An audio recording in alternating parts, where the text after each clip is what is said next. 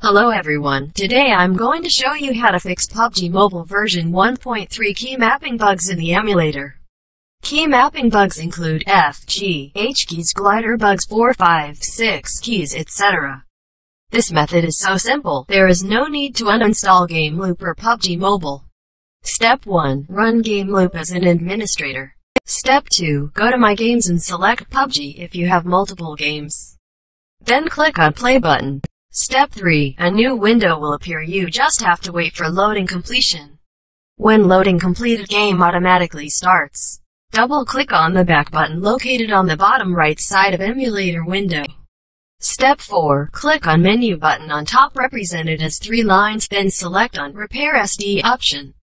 Then again open menu and select Clean Cache. I'm not doing it because I have done this before and it solved problem. Last step close emulator window and then close it from notification tray. Reopen emulator and install all resources again. I hope it will solve your problem. If you think this video is informative then hit the like button and also subscribe my channel for more updates.